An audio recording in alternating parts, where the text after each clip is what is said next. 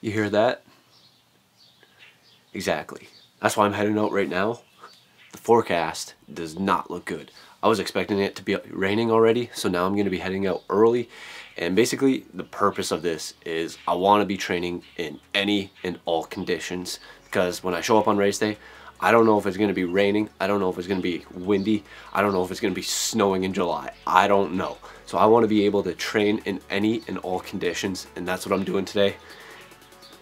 And it looks like today's going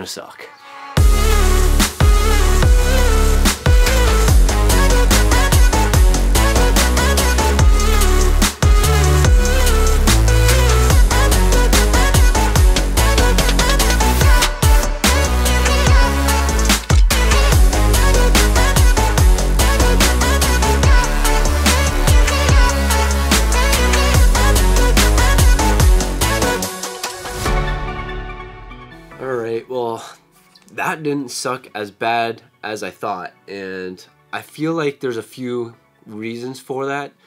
And I think one of the main reasons is because of the reason why I actually went out and did it during the rain is I think one of the reasons and I've just been putting myself through so much of these shitty conditions that I'm starting to get adapted to it and it like a shitty situation isn't as shitty as it once was because I keep putting myself through all this stuff. The two weekends ago or three weekends ago was definitely by far the worst I've ever actually been in a situation. Like my hands were frozen. I didn't have gloves on, and I knew it was gonna be cold, but it I didn't see rain on the forecast. And then when I got out there, it just rained the entire time, and that made it by far the worst ride. And I the entire time I was thinking I was just there's a line between stupid, crazy, and trying to push yourself. And I'm like, I don't know if I'm past that line yet because that ride was so bad. My hands were frozen. I was shivering literally the whole three and a half hour ride. It was it was by far the absolute worst. I think it was around 30 to 40 degrees out and it rained the entire time. I was just completely frozen on that ride. But honestly, I think another reason why this ride wasn't as bad is because I did prepare a little bit more where I wore gloves, I wore my Under Armour shirt underneath me to try and help prepare for that worst case scenario. I knew it was going to be raining, so I had that preparation in advance. But I think it is that main issue where it's like I've been putting myself through all this crap and it's just kind of building up. And then, like, when I say get to Lake Placid and maybe it's pouring rain out and it's not ideal conditions. I've been through all of that and it's like okay, I can deal with this because I trained during this and it wasn't that bad and I got used to it. So I think that is one of the good things. And I'm not saying the ride wasn't bad. It, so it, there's like both sides to it. The first side, it sucked. The maybe first hour and a half, it was just raining nonstop. I think for the first hour and a half, it just basically rained, and my glasses they started fogging up. So what I had to do was push the helmet a little bit above, so there was separation between the two because I think it was holding in some of the hot air from my head or whatever, and then it would slowly uh, be able to unfog itself. So that kind of sucked, but honestly, riding in the rain wasn't too bad. It was during all the hard segments, which is good and it kept me warm because I was going through all the hard segments. So the first hour and a half rained, and then after the rain was honestly the worst part of the ride for maybe like the next hour, hour and a half because rain stopped. I'm just completely drenched. I got like two pounds of water in my my shoes. Everything's wet, and I'm just riding. I got nasty wind that I'm dealing with, so I'm trying to deal with all that, and that just that was probably the worst part of it where the rain, I was like, okay, I knew there was going to be rain. This is going to suck. And I honestly wasn't that cold during that time. And then once the rain stopped, is ironically when the probably worst part of it actually was. So just going into the actual ride itself, I I basically toured all of this like Windsor Essex County area is what it's called where I live, and I feel like I saw more of this actual area in this four and a half hour bike ride than I've seen my entire life because there are so many areas that I went to that I've never been to, I never heard of, and I'm like, and this is all within like couple minute drive, maybe not a couple minutes, but like within a reasonable amount of driving. And I've like never seen any of this area, so I I just thought that was really ironic that I basically saw more of this area in a four hour span compared to my whole life living here. But it's been my longest ride, which is awesome. Got 95 miles on it, and I'm really happy with my pace.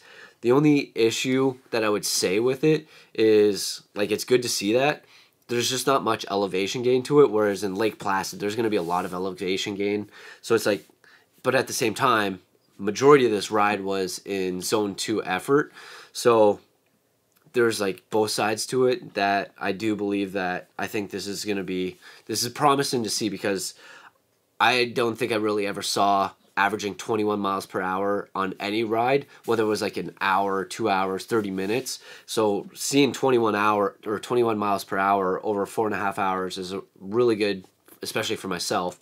And then just kind of looking over everything, it was just like I still don't have a power meter and I really need a power meter because right now I have my segments to be focused towards my heart rate and I really struggled to be able to get my heart rate in a zone 4 and I was like going all out and I could not get my heart rate up to I think it's between 156 and 164 and I was just struggling to get there and I was trying so hard and I just couldn't actually make it but I'm really happy with this ride and like honestly it was such a nice ride and it went by really quickly and com- especially compared to last weekend last weekend it's basically a loop that i do and i got 84ish miles i think and the thing that i think that made this route so much better is that i'm on a completely new road every single time and i'm not going back and forth whereas the other road or the other route i did i'm on that same road four times. I got to go out back out back and then it's just get extremely boring being on the exact same road where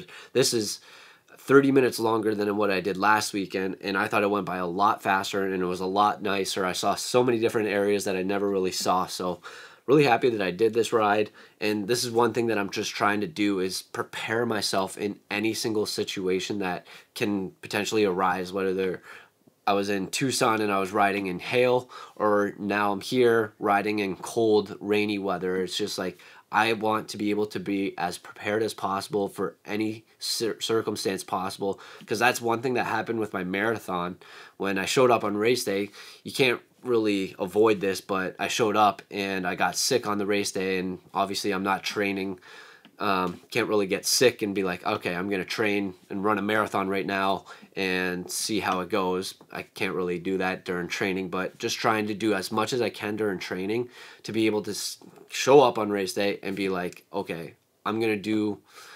I've trained as good as I can. There's nothing more that I could have really done. Whereas I could have taken it easy today. I could have went on Zwift and just been four and a half hours on the Zwift trainer, and I decided to head out there and endure the shit. So that's basically what I'm planning on doing the rest of the way out here. If it's raining, I don't care. I'm going out there. I'm training. Biking, swimming, doesn't really matter. Swimming's inside. I've swam outside in the rain at Tucson, so I mean, swimming in the rain isn't really anything crazy, but biking and running, doesn't matter what the weather is. I'm going to be going out there and getting it done. All right, so the weather conditions outside is actually really nice right now. And the ideal conditions that are not ideal are actually in my legs right now. So I'm currently in the third week of my training block. So my training block currently goes three weeks on, one week off of like a recovery week where the training volume gets cut by about eight to 10 hours. And currently my legs are really tired. I did a workout yesterday and ironically, one of the exercises I kind of I, I think I just stretched one of my muscles like right on the inner thigh. It's a side lunge and my inner thigh was hurting quite a bit for the rest of the day and I tried massaging it to fix it and it's feeling good now but basically everywhere else my legs they're just really sore because yesterday's workout was a heavy or a higher intensity of legs as opposed to upper body or everything else so Currently, my legs are really tired. I'm in the third week of my training block, and then I get my recovery week. So I got to make it through this week. And I got a bike ride coming up, and it's a tough workout where it's two by 11 minutes at a zone four effort, and then one by 12 minutes at another zone four effort. So this is to be putting my legs to the test to make sure I can actually get through it where maybe on race day my legs won't be as tired but if I'm able to get through the training weeks when my legs are tired and like I'm trying to recover while under stress when I don't have that stress on my body on my legs it's gonna prepare me a lot better for a race day. So currently my legs a bit tired a bit sore from yesterday's workout but I got this bike workout and then off of the bike, I got a 45 minute run that runs an easy 45, but we're gonna be powering through it, training well our legs. I mean, I don't really have any other options, but yesterday's workout, it just destroyed my legs and like the inner thigh. I feel like I just did a workout and hit a muscle group that I never hit before. And now my legs are just extremely sore. So I'm gonna be doing this bike workout. It's a tough one. And then I got 45 off the bike and I just got to power through it. So this is one of the uh, other ideal, not ideal, conditions that I'm gonna be training through to make sure that I'm as prepared as possible when race day comes. So let's hop on the bike, get this workout in, and then after that, we're going on the 45 minute easy run.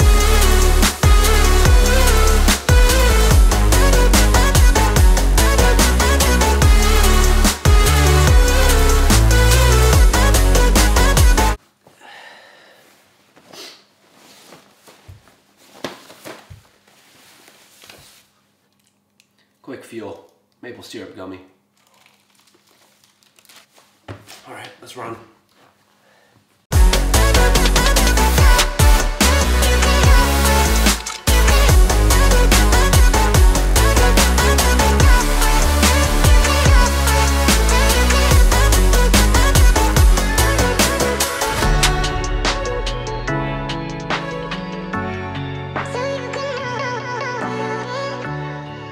Got back from my ride and my run. I still don't have a power meter and a power meter would have been great for this ride. I should be getting it this week though, which is good news. But with this workout, it had cadence work and it goes basis, based off of my heart rate. And I find I can't get my heart rate really high to the zones that it wants me in. So I struggled with that. So it's basically an effort level. And with this one, it was a cadence. And honestly, I'm really happy with it. I got about 22 miles on this 60 minute ride.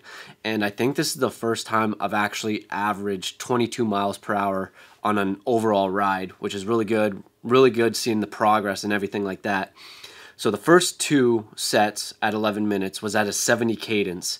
And my legs, oh man, they were it was it was a struggle it was a struggle. They I don't I don't know. It, like the first few minutes was fine, but I think it was just the endurance to be able to keep my legs to keep going. So I think that really played a factor in it from my legs being tired from yesterday.